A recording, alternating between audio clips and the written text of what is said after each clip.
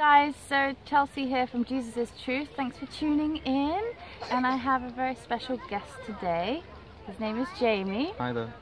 He's um, similar background to mine and uh, has been following the Lord since October. And I just thought it'd be great for him to do a short version of his testimony with you guys, just to edify the body and yeah, to plant seeds and those of you that are seeking Jesus. And yeah, so I'm going to leave you with him, and he's just going to talk a bit about his background and how he came to the Lord and what the Lord's done in his life since. So, love you guys, and I'll leave you with Jamie. Hi guys, so first of all I just want to say it's lovely to meet you. Um, so a bit about me. I used to be into the New Age and um, I used to be heavily into the occult. I used to practice, you know, tarot cards and um, Reiki healing, um, energy work, aura readings, and you know, I've always been seeking God my whole life, and um, it come to a point in life where, you know, I was asking the deeper meanings of, you know, who is God, and how can I have a relationship with God, and the more I got into it, you know, I used to go and see psychics and um, for them to predict my future. And I felt like I should, you know, I could follow that.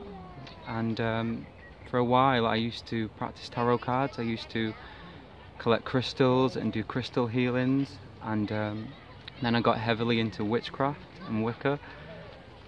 And it just got even more and more deep.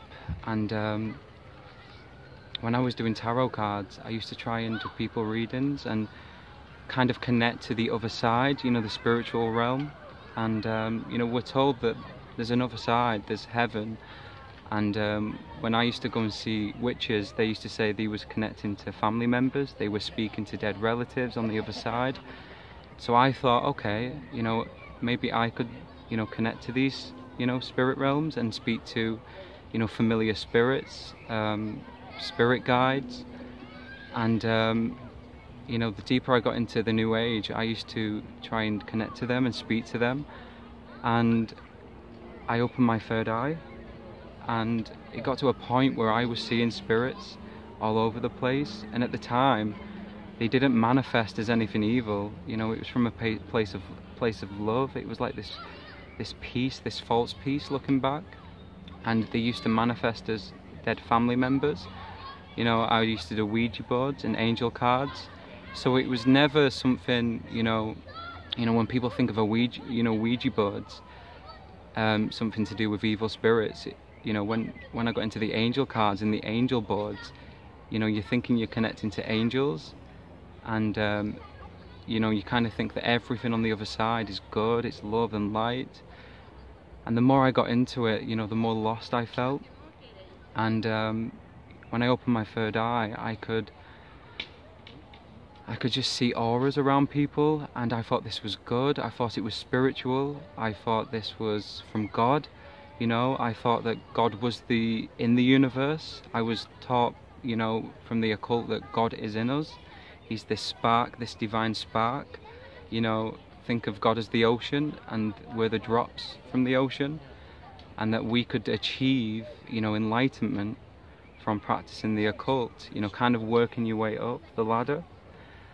And I used to pick and choose from all these different religions, you know, Buddhism, um, mystic Islam, meditation, yoga, you know, tried to reach this place of enlightenment, this this peace, you know, this this ascension that you go up the ladder of spirituality. And I just got to a place, you know, I just wanted the truth. I wanted to know who God was. I wanted a relationship with Him.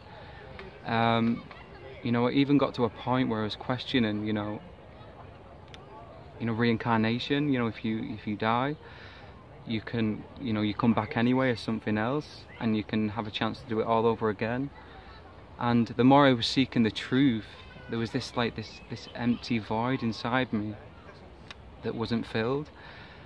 And um, the deeper I got into the occult, heavily into it, you know, this this void inside me wasn't filled at all, and I wasn't feeling love, and I was feeling depressed and down, and you know, kind of wanting more, trying to, you know, fill this void inside me that only, only Jesus can fill. And um, you know, one day I was in Milan with friends and we went on holiday, and um, we just went in this cathedral, and it was a Catholic cathedral actually. But you know, I just prayed there, and I said a prayer to God, and um, I just said, God, show me the truth. You know, I, I'm looking everywhere to find you, and I can't find you. I think I've found you, but it doesn't feel right.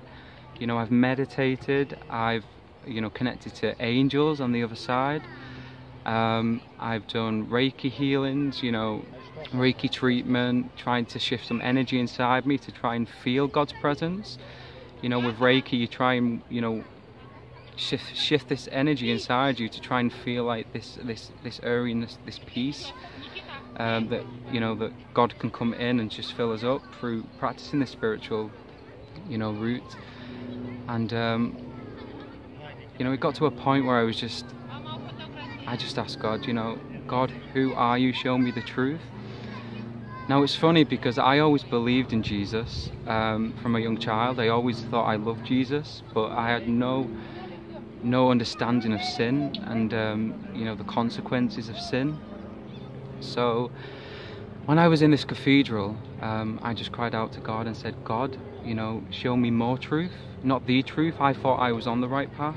So I was like, God, just show me more, show me the truth, show me, you know, you know, give me a revelation, give me more understanding. And a couple of weeks later, when I got back off that holiday in Milan, in Italy, um, I used to follow this witch on YouTube, and she used to teach telekinesis which is you know mind over matter you know because I used to be able to move objects with my mind it got to a point where I was really into mind over matter connecting to the energy around objects and and people and reading things and manipulating energy from the spiritual realms. But looking back that power wasn't from me. It was um, really demonic. And um, you know I used you know it got to a point where it was just it was so hard. It was so dark and deep looking back. But i wanted more truth. So i looked on youtube for this witch and i used to follow her she used to give like you know you're on youtube and you can follow tutorials and you kind of stick with one person and you follow them for years or months or however however long you follow them now this particular witch you know she used to teach telekinesis mind over matter gematria the occult numbers and symbolism and decoding them. Numerology, astrology, I got really heavily into that. You know, she inspired me. And um, one day I just thought, you know, I'm going to contact her. I'm going to find her on Facebook and um, I'm going to going to try and contact her and see if she can give me some advice. Um, you know, if we could meet up and do some work together, some more witchcraft. And um, her name on Facebook, there's loads of her names. I'm not going to say her name, um, I'm going to keep that confidential. That's not for me to say, but her name, you know, for example, if her name was Sarah Jane, there was loads of Sarah Janes on Facebook. And um, I thought I found her. So I contacted this this lady and I said, hey, are you the woman off YouTube? And um, turns out that she wasn't and she said, no, you know, I'm a Christian. I don't practice that sort of stuff. I was like, okay, um, well, this is truth. This is, you know, this is God. If you're a Christian, you're seeking God. You know, all paths lead to God. And she said, no, no, very gently. This is, this is, um, stay away from this lady. Many people have, has been looking for her on YouTube, and God has led them to me to tell them that she's a witch, and that's not from God yes, that power is spiritual, but the power doesn't manifest from God, it's from Satan. And I didn't know this at the time. But because I was seeking the truth and I was so desperate, and I cried, cried out to God, you know, God, what is the truth? Um, when she told me to open my Bible, because I had a Bible at home anyway, which I never read, um, I opened it and um, I opened the Gospels and read the teachings of Jesus, the biblical Jesus, because like I said before in the video, I used to always believe in Jesus, but you know, not the not the biblical, you know, Jesus. And when Jesus said, you know, in John 14 6, he said, I am the way, the truth, and the life. No one goes to the Father except through me. And it was that moment I just I just felt something from this. I felt convicted. I felt convicted of sin. I've done something wrong. And there was verses in the Bible which I can't recite off by heart, but it rebukes, you know, witchcraft and, you know, it says, you know, it is powerful, but it's not from God. It's from it's divination, it's from Satan. So the power doesn't come from God, even though it's very powerful in itself and it is true. and I mean that's why it's so enticing because you know the Bible says that Satan can disguise himself as an angel of light, and and you know witchcraft can disguise itself as love and light, and it's not. It's deception, guys. And you know when I come to the Bible and looked at the teachings of Jesus, I just knew straight away. This light bulb just went off in my mind, and I just cried out to God and I said, if this is true, if Jesus is the way, and if this is right, you know, Show me, keep showing me, please, Lord. And as soon as I cried out to Jesus and I asked Him in my life, weeks down the line, for these weeks when I was in bed and I'd go to sleep, Satan would attack me in my sleep. These demonic attacks, which I've never had before. But as soon as I found Jesus, I was in bed. I had this dream where um, this demonic figure come out the sky and it came down it started screaming at me it was clawing me in the back it grabbed me and it held me like this and it was just attacking me it had so much hate for me and that's when I knew I thought oh oh my gosh this is this is God this is you know God telling me that um, you know this is him and there's a reason why I'm getting attacked and the enemy doesn't like it and I knew then there was an enemy because when you're in the new age you don't think of um, you don't think of hell. Hell doesn't exist. You know, we're all reincarnated. Um, and that's how the enemy hides, doesn't he? He doesn't want you to know that hell exists. So, when I was getting attacked in my sleep and getting demonic attacks, I just knew that there's some truth in this because the truth hurts. And if this is true, then why am I getting so attacked in my sleep? You know, and then when I started speaking about it, and confessing Jesus, when I confessed Him into my heart and my life, I started speaking open, openly about Him to people, and um, people didn't like that either. They would rebuke me. They were so aggressive, you know. And because I had so much zeal for Jesus, I was a bit over compassionate, a bit over passion for Him, overzealous, and um, you know when you realise that you've been taught a lie your whole life, you know, not just with religion or new age but just the whole program the world follows you know the world system the beast system um, it's got there's got to be some truth in that because when you mention the name of Jesus you know the Jesus from the Bible and you recite verses to them they get so angry so that was a confirmation for me that the fact that people were rebuking it I was getting attacked in my sleep that's when I knew, okay, I'm onto something here. You know, the Lord, you know, is showing me who He is. And when Jesus said in the Bible as well, He said, you know, you know, don't marvel at, you know, in, in such words, don't marvel that the world hates you, but remember the world hated me before it hated you. And that's what got me to to have peace in, you know, the tribulations and, you know, the persecution is that the world hated him before it hated us, and um, he he suffered just the way you know we're suffering for his name's sake, and you know ever since, you know when I come to the Lord, you know there was a couple of lifestyle choices that I used to you know live.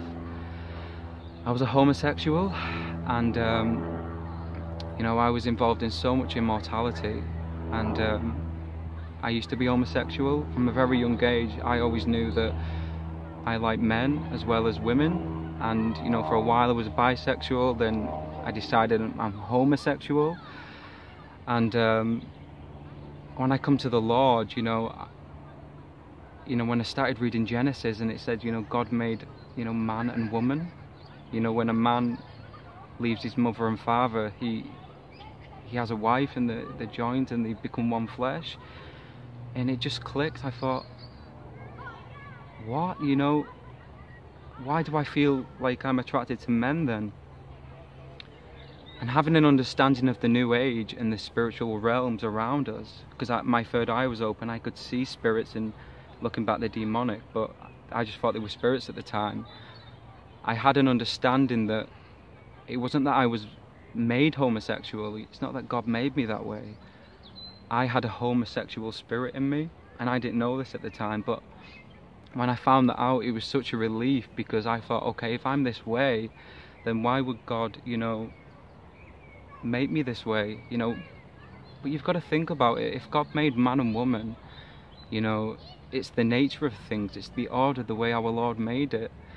And it's not that he, he hates us, it's, you know, he still loves us, but we, you know, we've got to come to him and confess our sin. And although I was still, you know, homosexual at the time, and I, uh, you know, renounced that sin, and I asked him to forgive me, I still, nothing changed. I still felt attracted to men. I still had those lustful desires, and um, but God just told me, He said, you know, I just felt like He still loved me, but He expected me from my own will to change, to let Him change me, and ever since I've put my trust in Him to change me, um, the homosexuality spirit has just completely left. You know, not 100%, you know, crystal clear gone, but I don't have those desires anymore. I don't look at men in that way as much as I used to. Um, I don't think about it anymore. You know, I don't think about lust in general. Um, I just want to live for the Lord, and um, He's given us another chance. He's, you know, He forgives us. Um, you know, salvation is a free gift, and we're saved by grace through faith, and that's a beautiful thing. Um, you know, in all the other religions as well, you know, following them, you know, they're quite work based, you know, and it's pretty hard work to follow all those rules. So, Christianity, you know, in Jesus Christ is such a blessing because we're saved by grace through faith in Jesus Christ not by works, lest anyone should boast. And I can't tell you how much of a weight's been lifted ever since, you know, I've come to Jesus Christ. And you know, it's not easy. It's still it's still a progress. We're being sanctified and cleaned every day, aren't we, by the Lord? Um, but He has delivered me from homosexuality, and you know, when I'm speaking to you know people who practice that lifestyle, and I always say this, you know, we don't we choose to live that lifestyle of um, homosexuality. You know, we don't choose the feelings because it does feel natural, because it's a spirit inside you. Is um, you feel drawn to men or women drawn to women, but we choose to act upon it, and there's a difference in that. You know, I chose to live that lifestyle. Um, and when I come to God, He's He's just healed me. He's lifted that spirit of homosexuality. He's lifted the spirit of lust, and He's delivered me from that. And I found so much peace knowing that that I'm forgiven in God, and um, I can have a relationship with Jesus Christ. He lives in me, and it's been an absolute blessing ever since. And back at home, you know, there's not many churches near me that are um, Bible believing. They, they all have their own traditions and doctrines. And, you know, when I was seeking fellowship, I was seeking a church. I was craving, you know, God, and I wanted to know more. And I've been to many churches, you know, and I, they just didn't sit right with me. They weren't teaching what, you know, I had this conviction like, this isn't right. And I just cried out to God. I said, God, please send me some fellowship. Please send me a friend that um, I can trust, you know. And God sent me Chelsea, and um, someone introduced me to Chelsea because she's from a similar background, and it was amazing. Um, she ran me up and we spoke, and um, she told um, her pastor about me, and um, you know, he, I spoke to him, and he invited me up. So that's why I'm here this weekend, and it's just been so edifying. It's been such a spirit filled weekend and it's been a blessing from God and it's proved to me, you know, that the Lord does answer prayers. He answers them. He cares for you, and He loves you. and He loves us. All we have to do is, you know, come to the Lord, ask Him for forgiveness, ask Him into our heart, and um, be willing to change. You know, it's a, it's from, it has to come from you. It has to come. You know, what all we have to do is be willing to receive Him and be willing to change and to let Him change us. And I can tell you, it's the most exciting thing ever to have a relationship with Jesus Christ. And I've never in my life felt this content, you know, trying to fill that void that I spoke about in the video earlier on. I used to um, try and fill it with material things, money, you know, greed. And right now, I don't want anything else in the world apart from Jesus Christ. You know, I could be, you know, I, I could have nothing. I'm content, I'm so happy knowing that He's all I need. And there's this peace that fills me now more than ever in my entire life. You know, it's not easy. Uh, you know, I still suffer, I still have attacks, but you know, we, I rebuke them in the name of Jesus. And you know, that's um, that's going to happen. We're going to get attacked, but that that's a sign that you're doing something something right. You know, the enemy doesn't want you to know the truth. He doesn't want you to know about his tactics and you know what his plan is, you know, and, and that we can have forgiveness and redemption in Christ Jesus. So trust me, when you come to the Lord, He will help you. He loves you so much. And if there's anyone watching this who who is, you know, you know, struggling with their sexuality and they're seeking God, um, you know, you know, whether you're bisexual, you know, pansexual, homosexual, any sexuality. You know, I've I've tried it. I've been there. You know, I used to uh, wear makeup. I used to be into transvestitism, and um, yeah, looking back, I just don't. I'm so content with how God made me now. You know, He made me in His image. You know, and um, I don't need to fix anything now. I'm so happy of how God made me. But if there's anyone out there who is um, suffering with that, you know, any sexual sexuality problems, then please don't worry. You know, just give it to the Lord. He will deliver you. He has delivered me from homosexuality. You know, I couldn't believe how how can God change if I'm homosexual? How can God change it? But trust me, He can and He will change that for you. You have to be willing to give it Him. You know, right now, if you have if you're having problems with sexuality, and you're thinking, how on earth can can this be taken away from me? It feels natural. It feels so embedded in me. I can tell you now from experience, I'm a living testimony. You know, homosexuality, it, it, God will deliver you from it. Any sexuality problems, God will and He can deliver you from that because he loves you and he you know there's no darkness too deep for God to change for God to reach. And um, I just want to let you know that if anyone needs to talk about you know the sexuality and you know don't hesitate to contact me or contact Chelsea and I'll be willing to talk to you and give you advice and, um, to help upbuild you and you know give you confidence in that in Christ Jesus. And I just want to thank you and end this video here. God bless you. Jesus loves you